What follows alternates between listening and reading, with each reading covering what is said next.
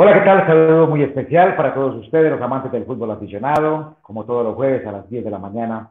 Comenzamos una emisión más de Zona La, el programa oficial de la Liga Antioqueña de Fútbol, con un invitado muy especial y, por supuesto, con todas las noticias que tienen que ver con la Liga Antioqueña de Fútbol.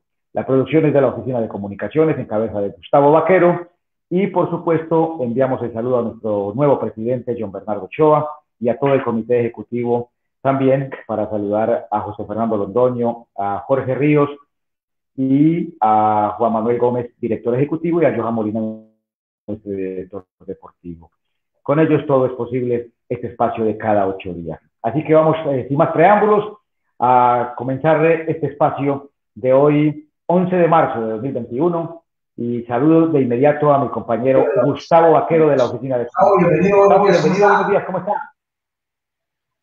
Hola Giovanni, un saludo muy especial para usted y por supuesto a toda la audiencia en todo el departamento de Antioquia. 15 días sin Sonará porque estábamos de gira con nuestras elecciones, nos fue muy bien, usted por allá con la infantil en Manizales, yo también con la prejuvenil y volvemos pues con toda la información recargada de noticias, novedades y todo lo que tiene que ver con nuestra liga antioqueña de fútbol. Un saludo para todos. Claro que sí. Eh, le, vamos, a, vamos a, tener, por supuesto, le vamos a tener todas las noticias de la liga antioqueña de fútbol, selecciones antioqueñas en categorías, los calendarios, las eh, participaciones, los entrenamientos, muchas noticias que tenemos para el día de hoy. Y como los habíamos anunciado, eh, tenemos un invitado muy especial, se trata de Rubén Darío Suárez, él es el coordinador general en la Liga Antioqueña de Fútbol del Fútbol Playa y el Fútbol Sala. Así que de inmediato saludamos a Rubén Darío Suárez. Rubén, muy, buenas, muy buenos días, bienvenido, ¿cómo está? Eh, buenos días, Giovanni, para usted, para Gustavo Vaquero, para los directivos de la liga y obviamente muy complacido de la invitación para poder hablar mucho del fútbol sala FIFA y el fútbol playa FIFA. Para ustedes estoy a las órdenes para cualquier información referente a estas dos modalidades que están pegando tanto ya a nivel de, Colombia, de Sudamérica y del mundo. Bueno, yo le voy a proponer a Gustavo mmm, para comenzar a hablar un poquitico del fútbol playa, que de pronto puede ser un poquitico más exótico, tendremos información eh, muy amplia acerca del fútbol sala, lo que se está haciendo en la Liga Pequeña de Fútbol eh, con este lindo deporte que es el fútbol sala. Pero inicialmente, eh, Rubén, le quiero preguntar cómo es la actualidad del fútbol playa en este momento en el departamento de Antioquia y de pronto un poquitico de rebote en Colombia. Bueno, la verdad, Giovanni, tenemos que buscar es que el apoyo de la federación como tal, solamente de una forma, me parece a mí muy vacía, pero la realidad es que en el momento se está preparando la selección en unos microciclos acá para, para precisamente la eliminatoria que tienen de la Copa América por ahí en el mes de junio. Entonces tenemos nuestro entrenador que es un antioqueño, Santiago Alzate, con su cuerpo técnico también, ahí asesorado con la gente del Valle. Tiene una base de, de deportistas que son de un club de acá, de la, es el único club que hay en Antioquia que se llama Antioquia Big Soccer, que es el de fútbol playa y que es el que eh, procesa todos los rendimientos que se hacen a nivel nacional cuando hay eventos eh, de, playa en Arboletes, en Nicoclí, en Santa Marta, sale como representativo de Antioquia.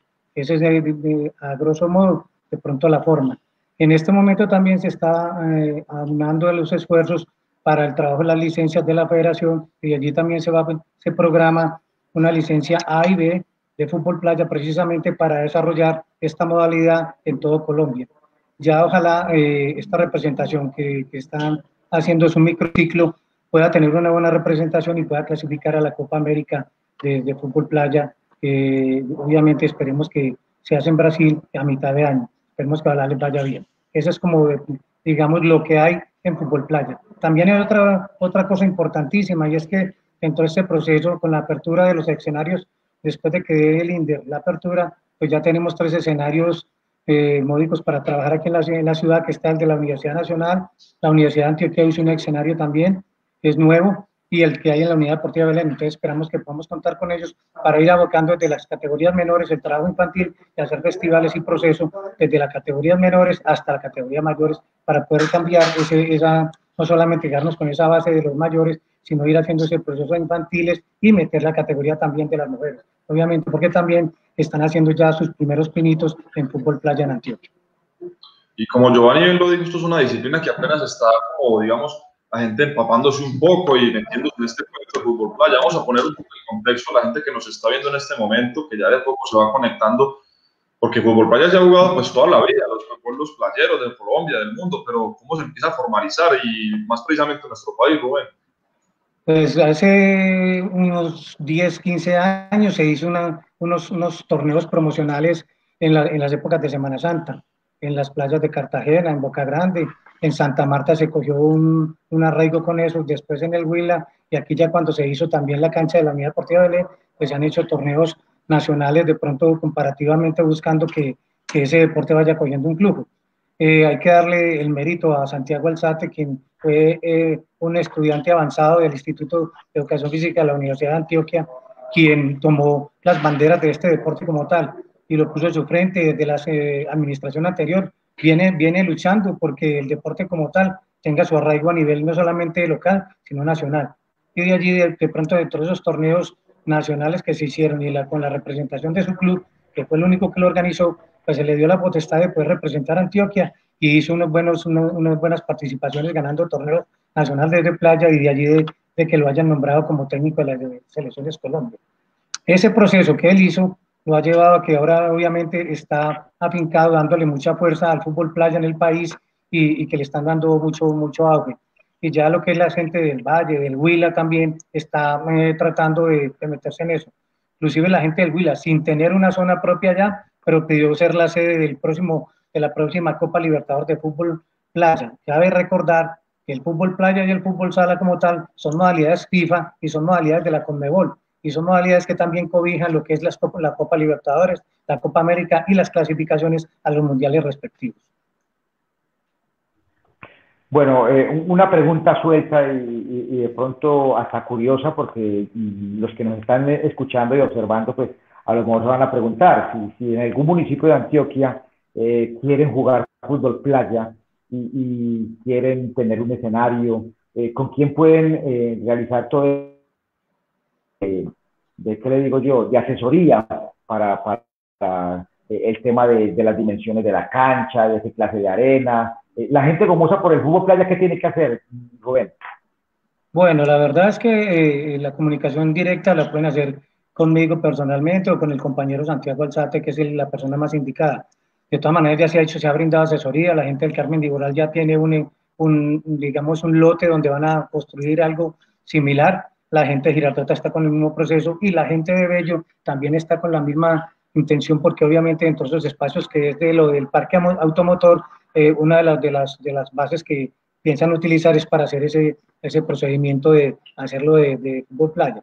Esa asesoría obviamente la conoce mejor el compañero Santiago Alzate y quien da las medidas, aunque obviamente pues uno se puede remitir a lo que es el Google como tal y allí también están lo de las medidas, lo, que es la, capacidad para el desarrollo del reglamento de juego, lo que es el material del piso, lo que es las medidas de los arcos y eso. La parte reglamentaria yo creo que no es desconocida porque para eso está esto el Internet, obviamente. Se puede acomodar realmente a todo esto. De todas maneras, la asesoría se tiene que brindar porque los escenarios tienen que tener las medidas mínimamente internacionales que, que, que, que se exigen para que este escenario pueda quedar no solamente para las competencias locales, sino también internacionales, que es lo propio. Hace un año y precisamente por estas fechas, eh, nuestra selección Colombia Fútbol Playa estaba entrenando por este sector de Colombia, eh, con Antes Aldarriaga, con el eh, profe Santiago, y también se estaban adelantando unos proyectos para llevar a cabo un festival en Necoclí, en Urabá, y otro aquí en Medellín. Lastimosamente esto no se pudo dar, pero la coordinación sigue, también tenemos el apoyo de Jorge Ríos del Comité Ejecutivo, así que Rubén, para que la gente se vaya programando, los famosos de Fútbol Playa, quienes quieran conocer más ¿Qué proyectos tiene la liga, eh, digamos, a corto y mediano plazo para el fútbol playa en nuestro departamento? Bueno, inicialmente pues tenemos el apoyo, como usted le dice, de, de Jorge Ríos, que es el direccionador del fútbol sala del fútbol playa de la Liga Antioqueña, miembro del comité ejecutivo, quien ha estado al frente, moviéndose por todos los frentes de la ciudad, obviamente con los municipios y con los jerarcas de Indeportes y del INDE, hablando con ellos, de, buscando las posibilidades que se puedan abocar para poder reunir esta modalidad y darle un poquitico más de fuerza. Eh, con ellos se, se, está buscando los escenarios y obviamente la participación. Usted sabe que eso requiere un apoyo logístico y económico, entonces ya se dio la, la, la, posibilidad. Y a nivel nacional, pues ya se, ya se dio la carta fundamental de los Juegos de Mar y Playa, que están programados para, para hacerlos en el mes de octubre del 22 al 30 de octubre en la zona, en la zona de entre Cincelejo y Sucre, que sería la sede Toluco, Beñas y San Antero. Y estos ya, ya los incluyeron eh, como lo, eh, para puntuación de los Juegos Nacionales. Entonces, esto sí va a ser categoría libre y abierta inicialmente para dar esa promoción y ya, ya la promoción de estos, ya el compañero Jorge Ríos, o sea, el, director, de, el direccionador de, nuestro, de nuestras modalidades, ya tuvo conversaciones con Indeportes Antioquia para poder lograr de que se le dé más reconocimiento, podamos nombrar un técnico como tal de la, de la liga, porque es el que obviamente tiene que afrontar ya lo que es el reto. ¿Por qué es importante estos Juegos de Mar y Playa? Porque ya entran a ser parte de la puntuación de los Juegos Nacionales. Entonces, ya se va a hacer ese proceso de los dos, tres años que faltan para el 2020 y a los dos años para el 2023. Y obviamente se jugarán en San Antero o en Toluca, en Coveñas, y los ganadores allí puntuarán para que eh, eh, después con los juegos de, terrestres que decimos normalmente los juegos de conjunto individuales, estos puntuarán para hacer la sumatoria total para el campeón de los Juegos Nacionales. Entonces ya ustedes saben que hay que recuperar este centro, lo estamos trabajando no solamente para fútbol playa, sino para fútbol sala. Entonces obviamente pues ya estamos con esa, con esa meta desde la parte de la dirección eh, deportiva de nosotros, la, la, dirección ejecutiva y obviamente de la coordinación. Esperamos obviamente con el apoyo de, de Indeportes y del INDER poder lograr que esto se pueda dar y que tengamos un alto nivel. Tenemos deportistas muy destacados.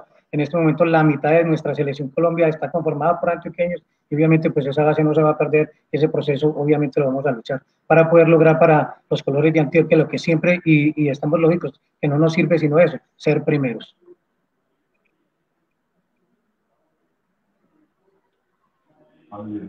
Bueno, mm, vamos a hacer un cambio de frente, ya, ya le dedicamos un buen tiempo al fútbol playa y vamos a hacer un cambio de frente, como se dice en el fútbol, para hablar de fútbol sala, porque es, es un deporte de pronto un poquitico más avanzado, más crecidito eh, en, el ámbito departamental y nacional. Eh, del fútbol sala, ¿qué podemos hablar, Rubén? Eh, ya, ya la gente en los municipios, en la ciudad de Medellín, están mucho más entusiasmados con este deporte para comenzarlo a practicar y de esta manera pues eh, organizarles campeonatos y demás. ¿Qué podemos hablar inicialmente del fútbol sala? Bueno, Giovanni, y ya tocamos la, la fresa bonita que yo digo, porque no, sin dejar de lado nuestro fútbol playa, pero el fútbol sala ha cogido una gran fuerza. Tenemos una gran eh, afluencia de, de, deportistas y de gente interesada en nuestro fútbol sala FIFA, sobre todo porque ya a nivel local e internacional hemos tenido buena representación y aquello, aquel club que tuvimos hace cuatro años acá con el Mundial, pues algo dejó. Y, y ya ahora lo que tenemos, que no solamente lo estamos haciendo a nivel local, sino a nivel municipal. Para nosotros es, es, es un placentero, para la Liga Antioqueña, lograr lo que estamos haciendo en este momento, que ya lo expandimos y lo expandimos a nivel municipal. Y ya tenemos las diferentes subregiones de Antioquia haciendo eh, torneos de, de, la, de, la, categoría, tanto en hombres como en mujeres. En la zona de Oriente tenemos 11 equipos de hombres y, 11, y 8 equipos en mujeres. En la zona del Occidente hicimos la, el Congreso Técnico el día sábado en la sede de San, San Jerónimo y se hubo una buena presentación. Entonces tenemos como para empezar también hombres y mujeres y también los tenemos en el Valle de la Burrá, que tenemos 10, 10 municipios, de los 10 municipios confirmaron 8 tanto en hombres como en mujeres. Tenemos la representatividad para la zona del nordeste, con, la, con un zonal que, le vamos a, que vamos a realizar en, en el municipio de Maceo, y esa zona ya es muy extensa, lo mismo en la zona de Urabá, nomás ayer conversaba con el encargado de la liga, allá Leonard, me ha dicho que este sábado está el Congreso Técnico con los de la sede de Urabá para poder conformar también ese grupo que, que va a estar. Todos estos ganadores de las diferentes regiones van a tener una, una, un premio. El premio es que el, el, que clasifique el ganador de cada, de, de cada llegará a la, a, la, a la, sede central donde se va a hacer el famoso eh, combinado que se hace con lo, con lo, de fútbol, que es el Mundial de los Pueblos. Pues lo vamos a hacer en el Mundial de Fútbol Sala también para nosotros, a ser en el municipio de Andes en el mes de julio. Entonces ya por ese orden de ideas en la parte municipal estamos bien. Ya en la parte de liga como tal estamos esperando el aval de, del INDER para la consecución y la facilitación de los escenarios para ya mandar la resolución que está lista, solo es enviarla pero ya tenemos mucha gente interesada tanto en las categorías mayores y, y, y menores, desde la sub-13 a la sub-15, sub-17, desde mayores de 20 y la categoría libre en hombres y en mujeres. Y tenemos ya varias, varias ideas conformadas de lo que es los festivales infantiles. que los vamos a hacer sobre toda la zona del área metropolitana y, colindando con las comunas. Ya hemos, con ello hemos proyectado con nuestro director, eh, direccionador Jorge Ríos, eh, algunas reuniones con las zonas periféricas de, de, las comunas y hemos eh, planteado la posibilidad de las, de, las, de las escuelas de fútbol sala. Ya hay varias academias funcionando y obviamente también una noticia importantísima es que próximamente nuestra liga tendrá su propia escuela de fútbol sala funcionando posiblemente en la sede del Coliseo de Manchester en Bello. Entonces, mira que ya son varias aperturas que tenemos y que obviamente hemos dado a eso una gran cobertura. También estamos rondando la parte importante y es que lo de las licencias de la federación como tal nos dieron una participación y ahora eh, estamos haciendo una capacitación con el técnico de las elecciones colombianas, Macor Negra, con Francisco Correa, coordinador arbitral, y con mi persona de las licencias para dictar como docentes de la Federación Colombiana de Fútbol dictarlo de la licencia B y la licencia A. Y hay un grupo de, entrenadores y, aquí hago y resalto la labor del señor Diego Fernando Morales, quien es el que siempre ha estado al frente y es la persona que se, ha encargado siempre del fútbol sala en Colombia y que ha estado con don Álvaro en la Federación Colombiana de Fútbol y es el gestor y es el, el, mecenas del fútbol sala en Colombia eh, en un apoyo de la Asociación Colombiana de Entrenadores de Fútbol Sala y Fútbol Playa para, para lo de la licencia C. Y de allí entonces todas las personas interesadas y programas ellos tienen, si alguna información requieren con referencia a eso, la pueden eh, conseguir con, conmigo, obviamente. Pero de nosotros vamos a apoyar todo este tipo de eventos desde la parte de la federación, obviamente desde las categorías menores, con los festivales, las categorías que, que continúan, las edades que les dije, obviamente las categorías mayores. Y ya con los seleccionados, obviamente estamos preparando a nivel de masculino y femenino, los seleccionados sub-17, que son los para los próximos Juegos Nacionales en el 2023, es la, es la categoría 2004. En masculino y femenino y tenemos dos compañeros trabajando que son Edison Zapata y David Sánchez, quienes desde el año pasado están vinculados a la liga y, son los profes que están encargados de tanto de la categoría masculina y femenina. Y con ellos llevamos un buen proceso.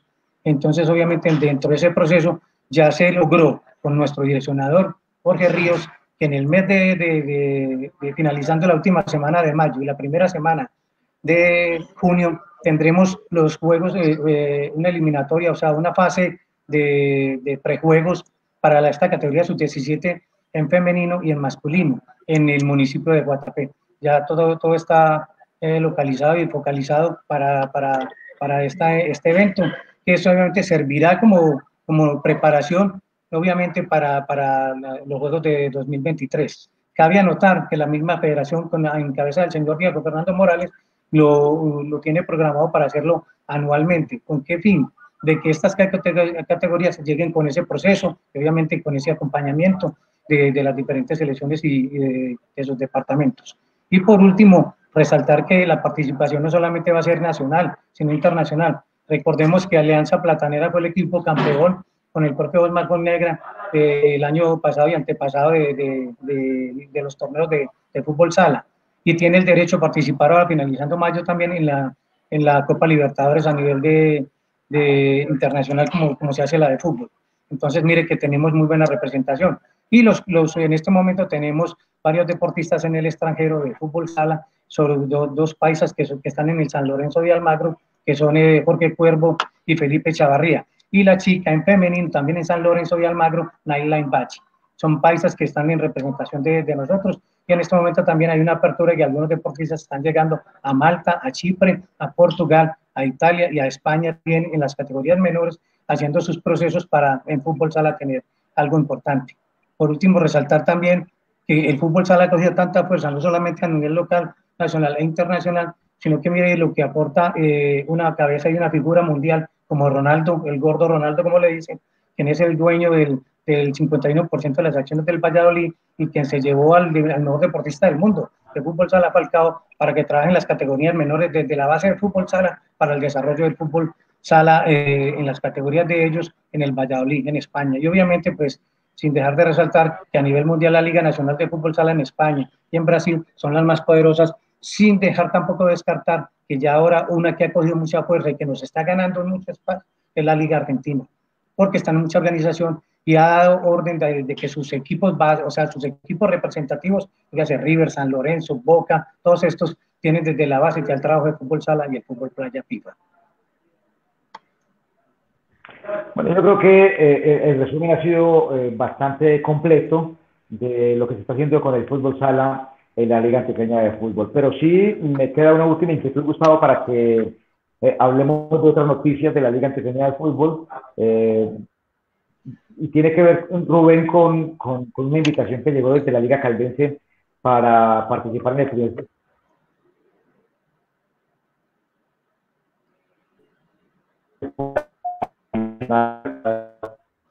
de y quisiera preguntarle qué respuesta. Se está cortando.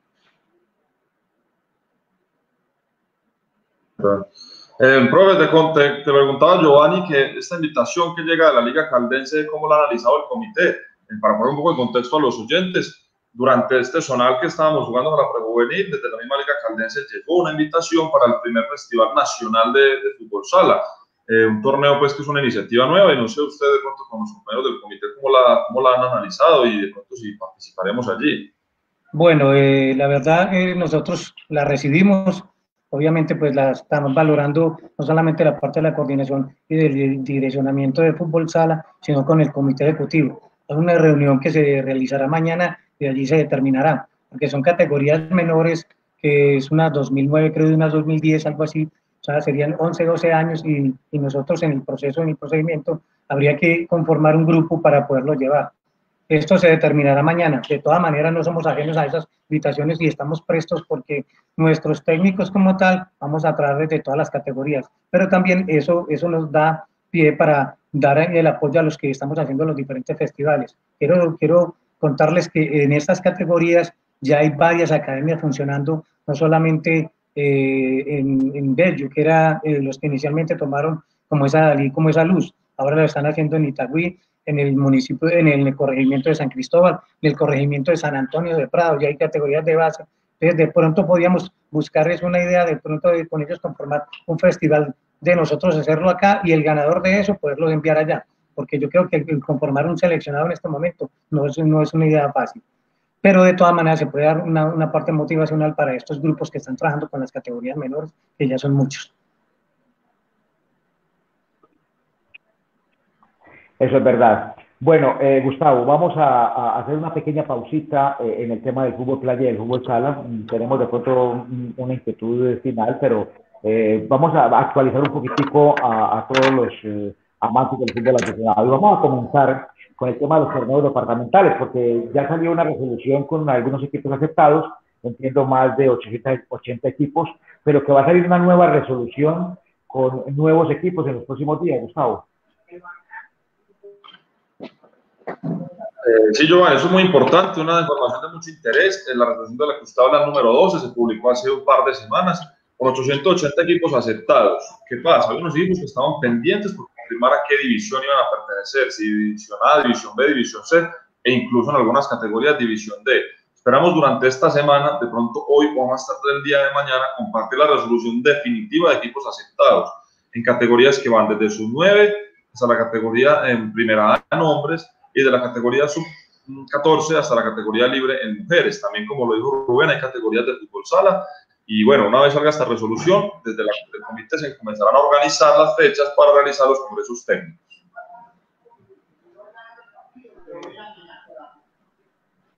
Bueno, y, y, el mismo proceso con la zona de Urabá, porque el pasado 8 de marzo pues ya se cerraron las inscripciones para el descentralizado y con varias categorías también en la zona de Urabá. Eh, estamos también próximos a, sacar resolución con equipos aceptados. Misma dinámica, Giovanni y oyente. Eh, se cerró, eh, hoy, hoy se cerró precisamente eh, las inscripciones para los clubes en Urabá. Se va a publicar primero un listado y luego se analizará los clubes pendientes para publicar el listado definitivo. Son seis categorías que se ofertaron en Urabá en hombres, cuatro en mujeres. Por ahora solo fútbol, como lo dijo Rubén González, se integrará con el torneo intermunicipal y esperamos tener mucho éxito en este sexto año de las categorías en las regiones en Urabá, Giovanni. Definitivamente ha crecido mucho el fútbol en esta.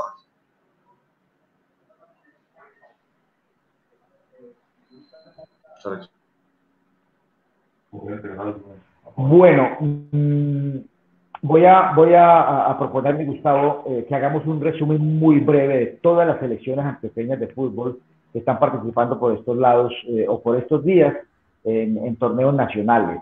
Vamos a comenzar con la infantil que estuvo en la ciudad de Manizales. Ya hay fechas para la última fase, la que da título y por supuesto resaltar la clasificación que tuvieron en Manizales. Sí, vamos a hacer un panorama general de las categorías de fútbol y después voy a enlazar con un temita de fútbol sala, este tema de selecciones antiguas también, para volver a integrar a Rubén. Eh, la selección infantil, como usted bien lo dice, se prepara para jugar a partir del 19 de marzo en la ciudad de Bucaramanga, la fase final departamental. Un momento le estaré compartiendo los rivales. En la categoría prejuvenil también clasificó, clasificó primera del grupo en el Zonal de Manizales clasificatorio. En abril disputará la fase final Nuestras mujeres también van a ingresar en acción. A partir del 5 de abril se jugará el zona clasificatorio en la ciudad de Bogotá. Atención, también las mujeres vuelven a los torneos nacionales. Y la juvenil se encuentra en proceso de conformación para la, eh, para la selección de, hombres.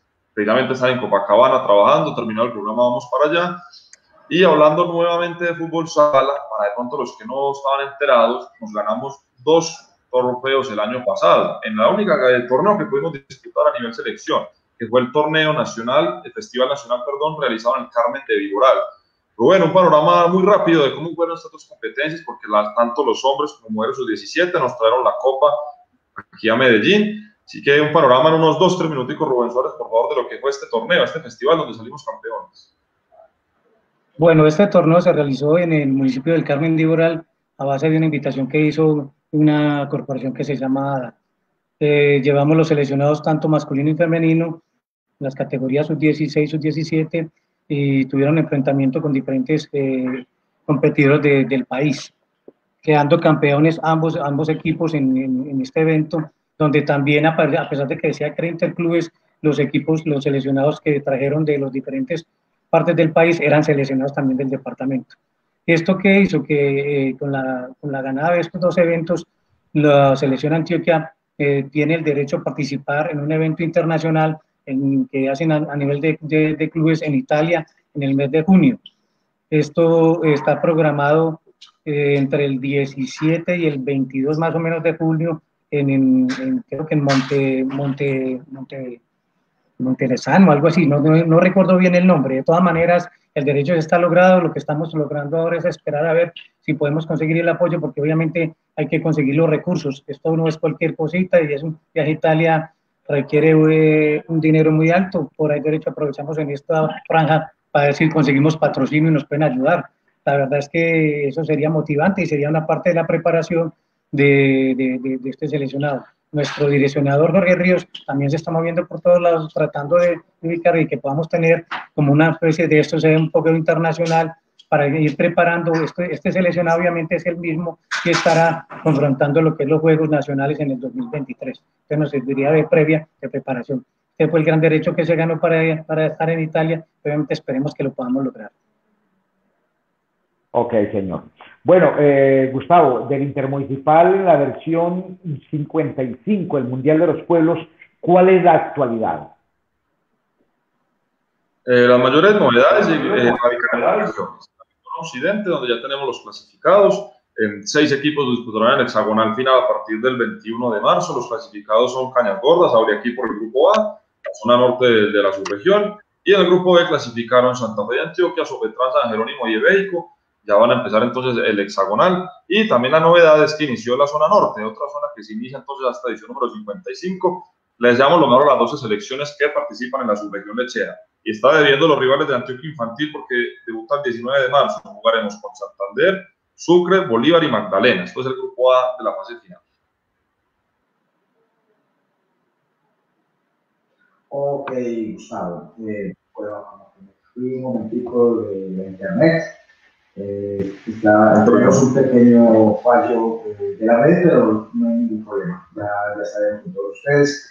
Eh, a ver, Gustavo, si entro, entro yo, entro yo. a Rubén Darío Suárez. Bueno, Rubén, por aquí llegan un par de saluditos para usted, para que también aproveche y por aquí los devuelva. Desde Ituango, un fiel oyente, David Usuga Montoya. Saludos desde Ituango. Eh, Ricardo Soto, una pregunta muy importante, Rubén, a ver si la podemos responder rápidamente. Pregunta,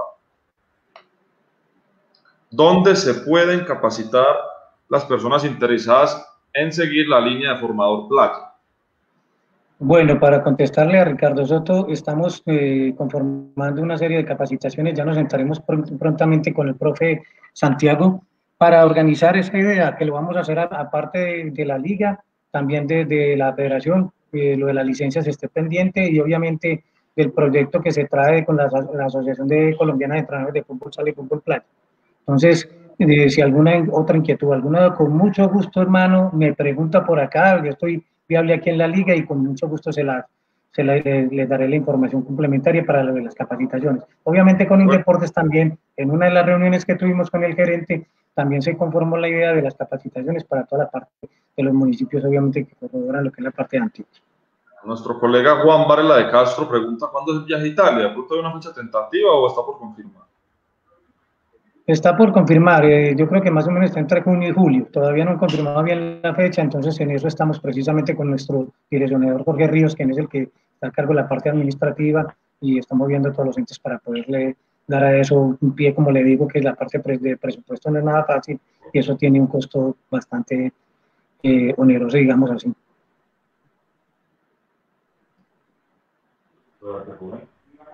Ok, señor. Bueno, a, Jotica, que no se preocupe que nosotros le estaremos informando oportunamente. Rubén Darío, muchísimas gracias por haber estado con nosotros. Es el coordinador general del fútbol playa y el fútbol sala FIFA acá en la Liga Antioqueña. Un abrazo y que pase un feliz día, Rubén. Gracias a usted, a, Gustavo y a los directivos de la Liga como tal y el apoyo y para que sigamos apoyando tanto el fútbol sala el fútbol playa FIFA, que es la salida ahora del, del, fútbol en, espacio reducido, que se presta más ahora para, para en toda la ciudad y en todo el país. Muchas gracias por habernos apoyado en esto. Nos encontramos la próxima semana. Un saludo a todos los clientes y para todos.